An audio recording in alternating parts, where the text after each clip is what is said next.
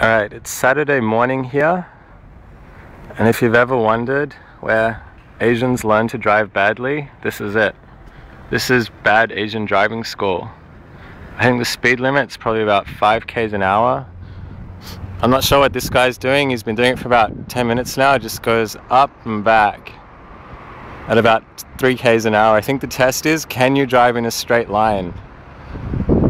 Note, note, I don't know if you can see, but he's actually going backwards and he's got his head out the window. And he's still failing. He's still going around in a circle.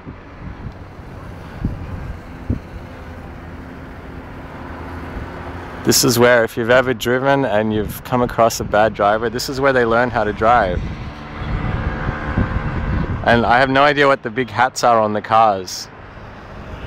Maybe it's if they fall off those bridges in the distance or something. This is it, absolute beginner score. In the distance there you've got some guy, I don't know what the, the point is to go over a bridge, I guess without falling off.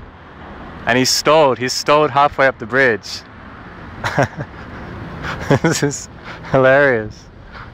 No one is traveling faster than like 3 k's an hour. It's like time stands still inside. Anyway, bad Asian driving school. This is where they come and learn.